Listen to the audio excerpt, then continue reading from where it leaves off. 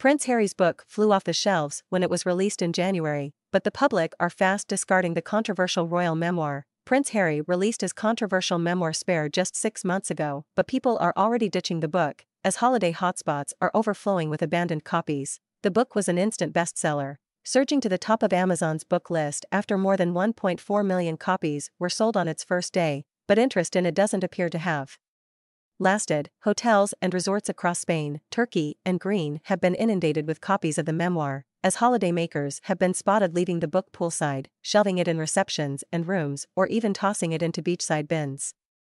Holiday specialists on the beach have so many they are at a loss with what to do with them, with local bookstores and libraries refusing to take them. Its chief customer officer has spoken of her frustration that they have been left to deal with so many copies of the book. Zoe Harris said, We've never witnessed anything quite like it. Lost property offices in our most popular resorts are brimming with copies of Spare, and we had a couple of Prince Harry's books sent to us from a hotel that some of our customers had holidayed to. We thought it was quite funny at first, but over the past few months, several other hotels have been sending the books back, now we have bookcases full of them.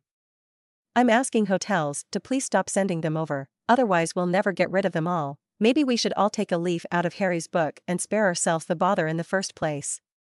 On the Beach says they are planning to give away the copies on its social media pages. It's not the first time Harry's book has been subject to ridicule, as author Bruno Vincent wrote a spoof version titled Spare US.